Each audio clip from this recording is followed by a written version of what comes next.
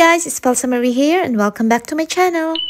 So in this video guys, I'm going to show you how I created this three set of Kintsugi inspired paintings using acrylic paint and liquid gold leaf. For this project guys, I'm using a stretch canvas and as you can see, I painted the background already with acrylic black paint. So without further ado, let's get started.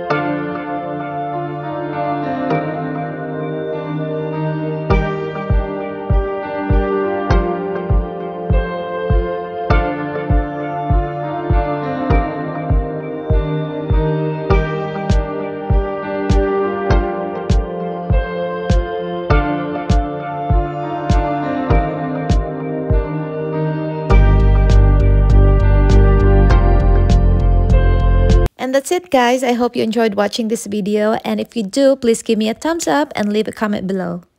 And if you haven't subscribed to my channel yet, guys, please do. I would really appreciate it. And please consider following me on my Instagram page at fmh.artworks. Thank you so much for watching, guys. Take care always. Stay safe. And don't forget to smile. See ya!